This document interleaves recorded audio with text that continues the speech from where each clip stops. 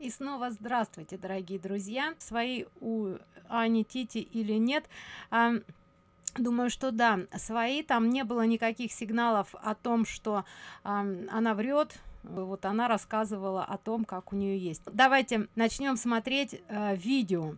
Итак, Тебя не обижает критика, когда с твоей песни начинают обсуждать с музыкальной точки зрения, называя это э, попсой, поющие... Трусы, э, да, там что-то еще. Да, да. Ты знаешь, я тебе хочу сказать, мне вообще э, плевать на критику, э, потому что я самый для себя вообще такой мощный критик. Но ну, я хорошо пою, я нормально пою, мне не стыдно, я пою в караоке, прихожу, мне я абсолютно себя кайфово чувствую, э, вот, поэтому э, то, что они критикуют, это класс это класс.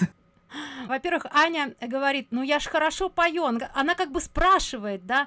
А, кроме того, вы видели наконец-то это плечико, которое пошло вверх, да.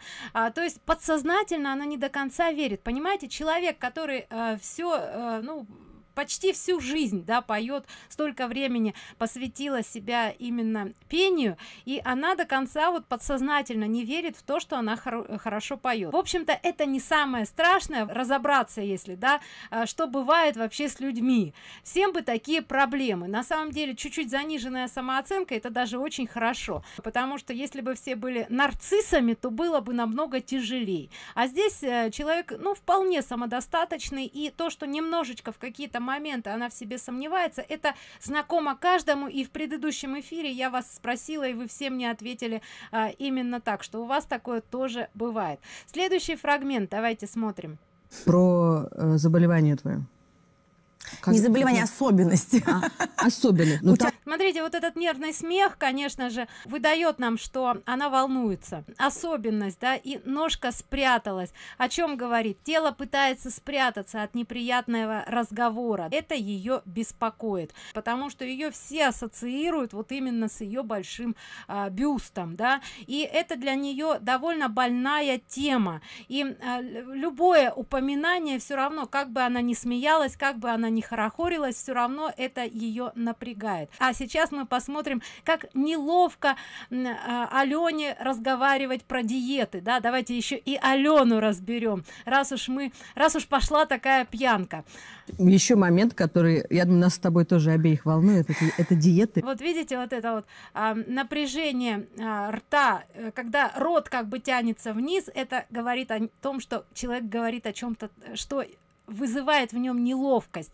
А, отвернулась сжала губы немножко подняла челюсть. Ну то есть вот такое ну ей неловко ей неловко и она как-то уходит тоже от этого а, вопроса. Но этот вопрос касается уже именно ее больше даже чем а, ее гости. А, нет нет реально это интересно просто. Я например там э, исходя из себя знаю там какая диета на меня действует. Расскажи какие ты проходила очень интересно видите а, ну вот вот это вот во-первых качает головой но ей неловко об этом говорить видите как ногой отталкивает пытается э, прижать эту проблему. Я думаю что вот если вопрос про диеты то а, алена э, ну в этом специалист. Что называется собаку съела. Так э, смысл комплексовать. Не нравится займись спортом а не просто диетой. Но знаете вам легко говорить. Вы наверное там э, весь такой поджарый да вот у вас э, у каждого человека разная конституция. И э, например у моей сестры э, не буду называть ее да но у нее просто вот э, конституция такая и она вообще не ест. Вот я по сравнению с ей с ней я ем намного больше но я вижу как вот у нее прям вот в некоторых местах скапливается жир. Вот бывает такая конституция у людей что ешь не ешь занимайся спортом. Она кстати занимается спортом она танцует она много чего делает для э, для того чтобы не полнеть но все равно это ну как бы не получается у нее с этим бороться. И я знаю многих людей таких которые борются с лишним весом но все равно у них не получается. Кстати у меня на канале есть а, видео где галина турецкая выступала вот она приглашала там ссылочки есть. Если кого-то это интересует можете зайти к ней. А, она вот э, по этой теме расскажет почему это происходит. Итак, следующий фрагмент. Наконец-то мы уже вырвались из того, что мы уже рассмотрели. Идем дальше. Что бы ты ответила Алене Водонаевой, которая заявила о том, что никогда не зайдет в бассейн с полными людьми? Я брезгливый человек, и я не буду заходить в воду с полным человеком, точно так же, как я не буду заниматься сексом с полным человеком. И смотрите, а, для Ани это такое, знаете, такой шок. А, видите, испуг на лице. А так, э, у нее даже, ну, можно сказать, отвалилась челюсть. Э, честно скажу, и у меня тоже челюсть отвалилась, и мне хочется пройтись по этой Водонаевой, потому что после ее интервью там все прям загалделись по поводу того, что она там много всего наговорила. Ну да ладно, сейчас мы не ее разбираем. Здесь мы видим, что Аня несколько растерялась, да, а, ну и смотрим, как она отвечает. Ну, не плавай, иди, мойся у себя в ванной. В чем проблема-то, господи? Какие проблемы вообще? Не знаю, мне кажется, полные люди, они очень милые и классные. Как ты думаешь, почему она это сказала? Ну, просто мне кажется, ну, людям некоторым нужно пиариться как-то вот на каких-то скандалах. Кто-то только за счет скандалов живет, а кто-то еще за счет чего-то. Ну, а теперь смотрите, я без звука сделала медленно, да, вот ее недоумение, а, а теперь пожимание плечами, а, отвращение увидели отвращение. Она а, вот дважды показала отвращение. Она вообще в принципе старается не говорить неприятные вещи людям. И видя что перед ней а, человек который борется с весом которому а, очень неприятно вообще вот это то что диеты плохо работают да вот этот вопрос этот анна не хочет ее э, ну заставлять переживать да. И вот она как-то так обтекаемо ну как-то вот сказала она старается как бы не нагрубить ни одной ни второй стороне. Вот э, по поводу алены она сказала вот э, полные люди они же такие хорошие да милые добрые а вот что касается водонаевой тут конечно не нагрубить было сложно. И поэтому она э, когда вот э, сказала видите ли как она переминается она немножко меняет положение тела. О чем это говорит? Ну она не в некомфортной обстановке. Ей э, не хочется говорить плохо о человеке человеке. Но ей пришлось немножечко а, ну резко сказать. Для ани а, хамство не совсем комфортно. Вот к чему. А, да аня воспитанный человек не, а, чего не скажешь про водонаеву. Ну вот действительно водонаева просто упала ниже плинтуса в моих глазах. Но идем дальше. Следующий фрагмент то не против ли ты всех остальных вещей, когда женщины чересчур пытаются быть натуральными, там, не знаю, не бреются там или еще что-то? Да нет, ну кому что нравится, слушай. Но смотрите, вот этот вот жест интересный. То есть, э, э, во-первых, плечи вверх, да, э, сомнения, да, а вот здесь отгораживание, да, кому что нравится. Ну, как бы я не осуждаю, но я и не приемлю. Пожалуйста, держитесь от меня на расстоянии. И, кстати, глаза, вот видите, э, такой не, небольшой испуг людей столько и своих мнений. Кому-то нравится, э, не знаю, отрастить себе волосы на подмышках и косички плести. Ну, всякое бывает. То есть я, допустим, мне не нравятся волосы на теле, особенно женщины. Вот когда она про волосы на теле женщины, у нее прям отвращение было. На следующей неделе я буду проводить три бесплатных занятия по физиогномике. На третьем занятии как раз мы это будем обсуждать. А на теле мужчины это смотрится как-то нормально, потому что, ну, мужчина, тестостерон, значит, еще есть есть. Ну вот здесь вот как раз э, отвращение, знак такой агрессии в плане сексуальности. Не отвращение, как вот э, оно в классическом э, понимании, а то вот первобытное отвращение, которое изначально, ну об этом я буду рассказывать как раз. Если вы еще не были на моих бесплатных занятиях, обязательно приходите. Дальше, следующий фрагмент. И э, 6 лет я отработала на этом прекрасном проекте на Первом канале. Э, начинала свою... Вот, э, кстати, э, отработала на Первом канале и видели, облизала губы. То есть э, ей это очень понравилось. То есть она получала свою конфетку, и э, ее это очень хорошо удовлетворяло. Сейчас, вспоминая об этом, она облизывает губы. Либо финансово, либо как-то еще. Это ее устраивало, и все было хорошо. Когда человек описывает что-то и облизывает вот так губы. Это значит он описывает то что ему очень нравилось. Сольную карьеру кино гитлер капут я много чего классного сделала. гитлер капут это название фильма. Главная роль в сериале вся такая внезапная. Угу. то есть Э, с легким паром продолжение. У Бекмамбетов, который снял, мне там тоже есть небольшая роль. Поэтому у меня, знаешь, так поперло по карьере, и мне вообще не хотелось никуда уезжать. Что мне делать за границей? А, где-то, да, там сначала где-то там, по-моему, в Китае, потом в Америке. Что мне там делать? Я жила полтора года. Вот видите, много раз она стала поднимать плечи, то есть сомнение такое подсознательное. Она иллюстрирует то, что проговаривает, да. Я не знаю, что мне там делать было. В Америке мне не понравилось. Вот это вот напряжение подбородка подбородка это саботирующая позиция это упрямство. Выражение лица э, капризной девочки которая хочет э, получать все удовольствия да хочет чтобы все было э, комфортно удобно и не хочет ничего для этого делать. То есть э, ей там ухажер предлагал поехать в америку но она решила что а зачем мне это надо если у меня по работе все хорошо да? На первом канале мне все дают да там конфетки слава деньги то есть все как бы у меня на мази. Зачем мне куда-то ехать какие-то дискомф дискомфорты испытывать если все и так хорошо у нее смех всегда искренний или играется в кокетку. Но а там по-разному э, бывает у нее нервный смех когда по поводу ее груди был разговор вот по поводу ее особенности она засмеялась потому что ей все равно неловко говорить. Был смех и искренний был смех и, и игры. Ну то есть вот по всему интервью там по-разному. Значит следующий фрагмент. Я здесь нашла себя в этой стране я люблю свою страну это правда ну вот смотрите люблю свою страну мозгами вот она качает головой да иллюстратор подтверждает что действительно она любит э, свою страну. Это эмблема жест эмблема.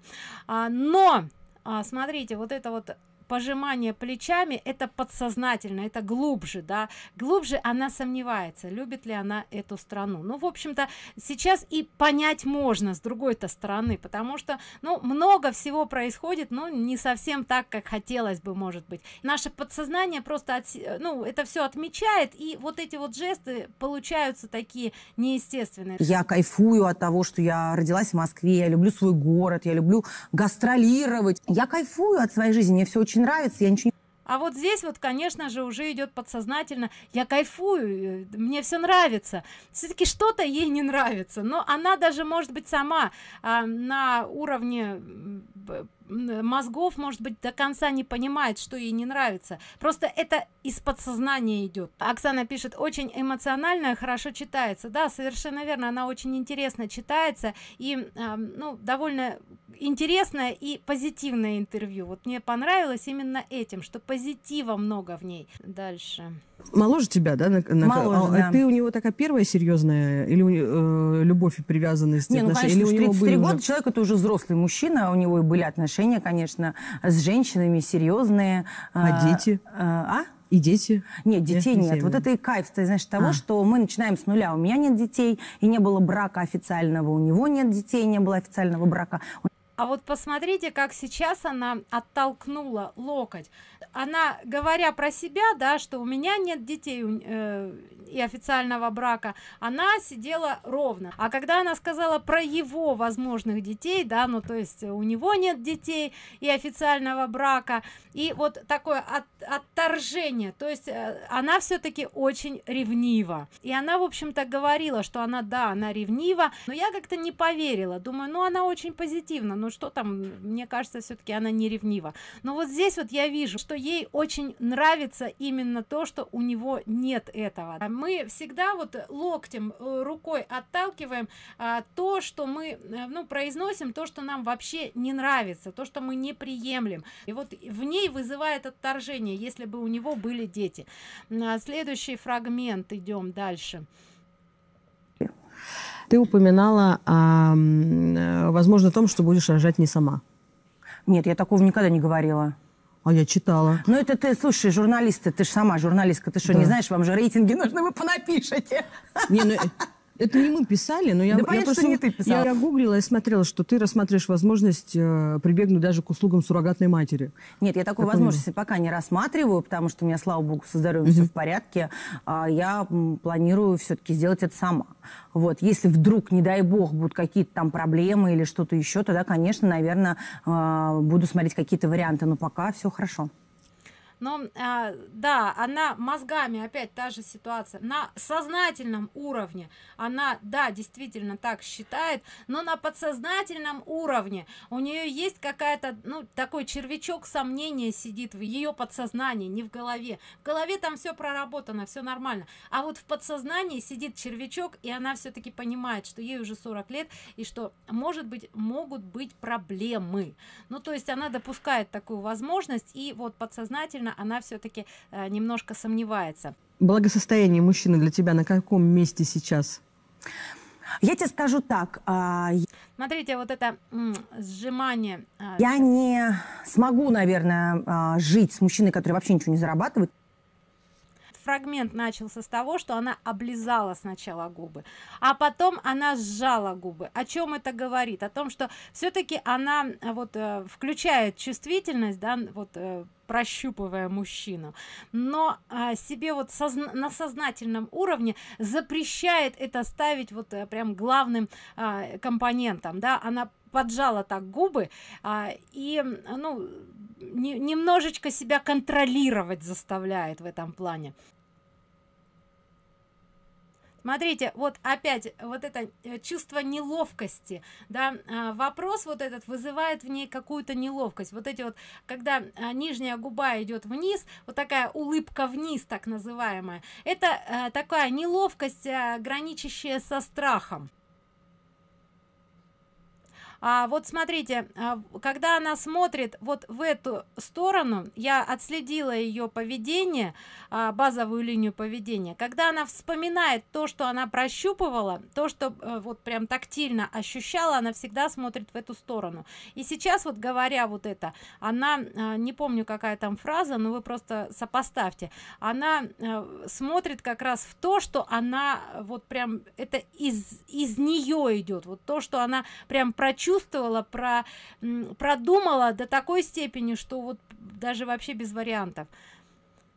То есть это не фантазия, это вот прям четкая позиция ее, которую она сейчас про проговаривает а, так дальше. А, так возможно боится выглядеть меркантильной. Возможно да. Но этот вопрос ее немножечко напрягает с точки зрения а, ну вот осуждения может быть неловкости какой-то. Ну вот вот это вот э, неловко ей это говорить. Вот. А, то есть если сейчас вот у меня был такой этап быстрых веселых песен сейчас я хочу попробовать выпустить более такую про любовь как раз может быть к моей ситуации в личной жизни которая mm-hmm. меняется да. А, такую про любовь такую искреннюю классную песню а вот здесь смотрите куда она смотрела. Сюда она смотрела. Здесь у нее область фантазии. И при этом она облизывала губы. То есть это у нее в планах. А, в планах но а, пока еще она это не прочувствовала скажем так пока этой песни скорее всего у нее нету вот четкой песни да но э, она допускает ну это знаете вот э, как будто она планирует свой отдых да. Она еще может быть не заглядывала в э, проспекты да она не приценивалась по деньгам но она уже как бы вот хочет поехать туда-то да. И вот здесь вот такая такая же э, штука. А, так следующий фрагмент до скольки лет ты собираешься петь? Ты себя представляешь уже, например, там, через 10 лет э, в таком же стиле, в таком же образе, с такими же песнями? Слушай, я, честно, безумно люблю э, Лолитку Милявскую. Просто. Я ее фанатка, вот, действительно. Мне нравится харизма этой женщины, мне а вот здесь опять-таки наблюдаем за плечом. А, головой она кивает да вот говорит вот на сознательном уровне она говорит все как думает да. Но вот подсознательно некоторые моменты у лолиты милявской все-таки а, ну вызывают в ней сомнения. Нравится вообще как она рассуждает. Понимаешь э, лолите там 50, там, да, по-моему, ну, ну неважно, чуть-чуть, может быть, ну, она молодая женщина при этом. И она прекрасно поет, ты понимаешь, она шикарно ведет корпоративы, она потрясающе работает, и у нее как раз тоже такой амплуа, знаешь, легкая, угу. веселая, с подколом. А почему бы и нет? Просто нужно действительно трансформироваться. Но видите да что с одной стороны да действительно вот мозгами она очень здорово уважает лолиту но при этом есть некоторые моменты которые вызывают в ней сомнения. А, да вот мариночка пишет больше лайков а я я ее полностью поддерживаю. Тем более у нас последний фрагмент который я бы хотела вам вот прям знаете золотые слова вообще из-за которых я влюбилась в анну семенович. А, ну просто ну потрясающие слова которые я считаю что это самые главные слова в ее интервью. А, давайте послушаем. Э, предыдущая моя гостья айза ага. э, говорила о своем разочаровании глобальных мужчинах. Мужчины слабые рабы э, которые для нужны нам только для продолжения рода.